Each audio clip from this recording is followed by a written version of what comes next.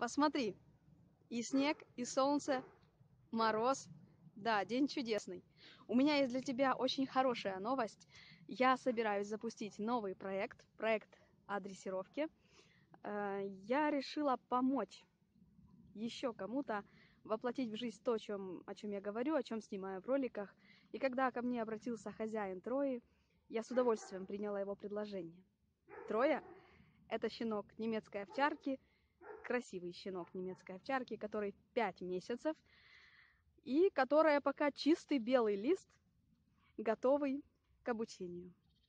Когда меня просят э, дрессировать собак, есть вещи, которые для меня гораздо важнее умения ползать, сидеть, лежать или подавать лапку.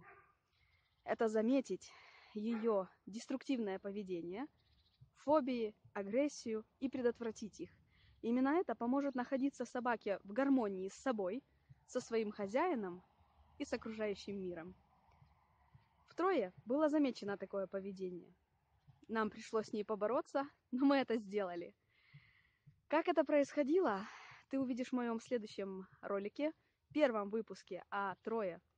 Он выйдет в пятницу. Я надеюсь, что ты будешь ждать его с нетерпением и будешь лайкать. Ну что ж, я уверена, что этот проект поможет тебе увидеть еще тонкости, которые не были показаны на моем канале, тонкости в отношении дрессировки, исправления поведения, применить их в жизнь, исправить свою, щен... свою собаку или своего щенка и сделать ее и себя счастливыми.